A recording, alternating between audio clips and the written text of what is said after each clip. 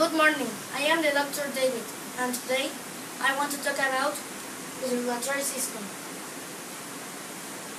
The circulatory system permits that the blood transport, circulate, and transport the nutrients to the blood vessels, heart, and lungs. Now, the circulatory system maintains the body tissue full with oxygen to breathe. Three main types of blood vessels are arteries, carry the blood away from the heart.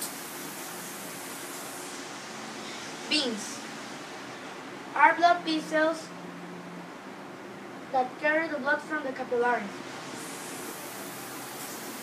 Capillaries. The blood goes from from arteries, it's extremely small blood vessel. The heart is divided in four chambers. Ventricles pump the blood out of the heart to the arteries. Arteries receive the blood from the veins. Valves are doors that prevent the blood from following backward through the veins. Through the veins. Thank you. That is all my project. Bye.